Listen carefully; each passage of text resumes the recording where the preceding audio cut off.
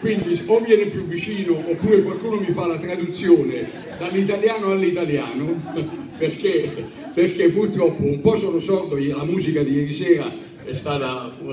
una bella, una bella ma poi soprattutto perché veramente non c'è la, la, cosiddetta spia qui e quindi... Ecco, sono vicina adesso. Volevo dire che noi italiani siamo conosciuti come mammoni e allora io volevo sentire qualche parola di una persona che quando lei era piccolo diceva saluta, ringrazia, buongiorno, buonasera e poi finiva molte volte i suoi discorsi con dei proverbi. Volevo sentire qualcosa su Come carina lei, sì, lei ricorda, vuole ricordare mia madre, sì, mia madre eh, teneva ecco, moltissimo, grazie. grazie tante, grazie. Mia madre era una cafiera, una, una famiglia di origine napoletana, eh, aveva la, la, la, sua fissazione, l'educazione. E quindi io devo, dire, devo essere grata a lei perché quello che ho fatto insomma, un po' nella vita, eh, tranne rari casi, insomma, eh, ho cercato eh, sempre in quello che ho fatto di rispettare questo codice che è quello di, del gusto e di una certa educazione,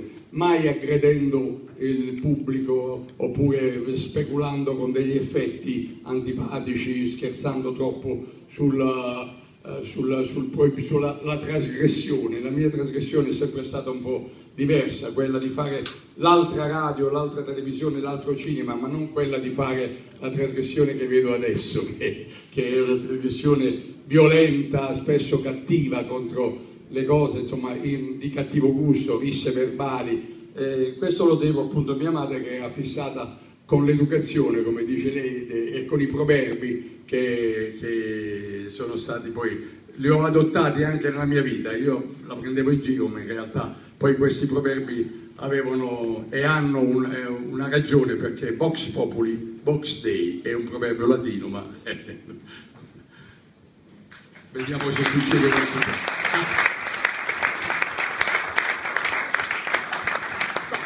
Approfitto, allora, approfitto, io ancora approfitti, una domanda. Approfitti. Ecco, adesso ha detto insomma le trasgressioni, sì. eh, le, i litigi verbali che si vedono in televisione. Le sue trasmissioni sono sempre state, diciamo, un po' una satira, possiamo dire così, eh, sì. quelli della notte eh, ironizzava sui programmi salotto, i talk show. Se dovesse fare una trasmissione domani in televisione, su che cosa ironizzerebbe?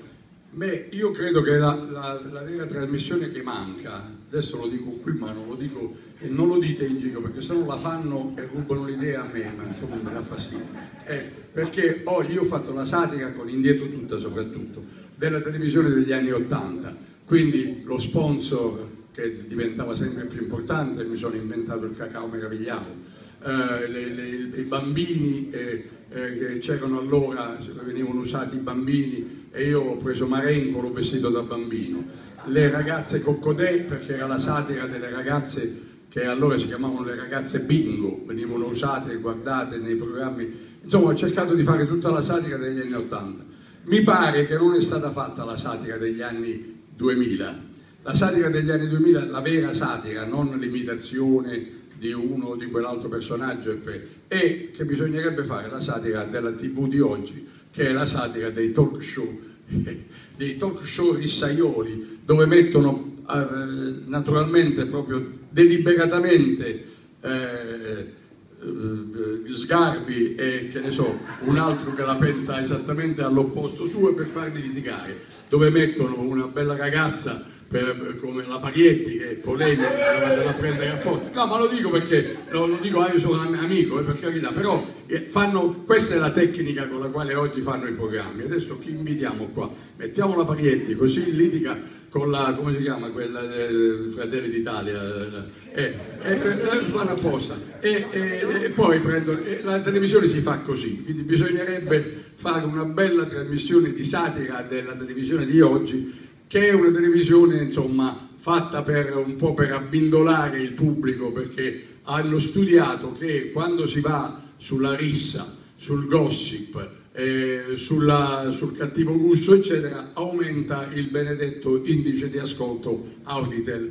del quale io non sono amico, non dico che sono nemico, ma non sono certamente amico perché penso che è meglio piacere molto a un ristretto pubblico che non piacere soltanto al pubblico che vuole questo, questo, tipo di cose, numeroso e casomai non piacere per niente, perché poi noi subiamo certe trasmissioni, le vediamo eh, perché si devono vedere, perché il giorno dopo ne parlano i giornali, però le subiamo, non, non, non ce ne innamoriamo. E nel caso mio invece le mie trasmissioni erano seguite perché la gente andava proprio a sintonizzarsi su quelle trasmissioni perché c'era un'affezione che adesso non hanno più, c'era l'indice di gradimento, è una vecchia parola, però oggi dovrebbe essere sostituito con un indice di affezione, indice di stima a un programma, indice di innamoramento per un programma, non lo fanno, non lo fanno apposta perché sanno che i programmi più visti poi spesso sono anche odiati da gente che li subisce oppure non sono apprezzati. E quindi è una cosa che prima o poi spero che qualcuno si decida a capire. Vediamo, speriamo nella nuova RAI.